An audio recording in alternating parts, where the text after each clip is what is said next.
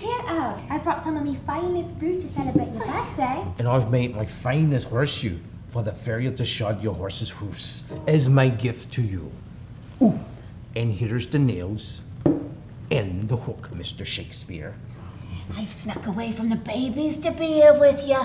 London's finest playwright. I'm, no, I'm, I'm sorry, and, and thank you, noble friends, for visiting with me today. It's just that, well, you know, I'm blocked. oh, I know what you need. Figs.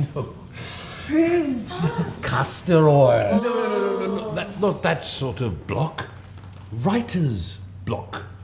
What's that?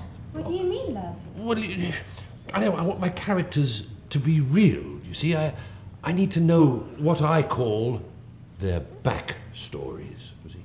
Backstory. What's Yes. a backstory? Ay, well, my back is killing me. What with delivering all those babies, preparing the laundry? No, no, what, what I meant is I, I want my characters what, to be real, like you are. I want my audiences to know what makes them do what they do. Well, real people do what the job requires them to do. I brew and sell ale. Mm-hmm. He's a blacksmith and she's a midwife. You pen plays.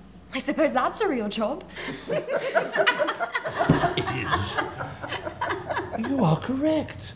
You know, I'm penning a play now that's set in Scotland 500 years ago. I, I wonder, do you think your tasks have changed much over the centuries?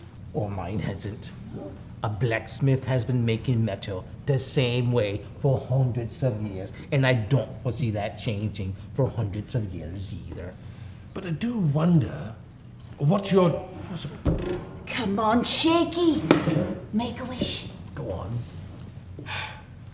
Do you know, I wonder what your tasks might look like in the future. Oh, God, I wish I ah, knew. Come on then. Blow out the candle. Oh, Go on. Right, okay.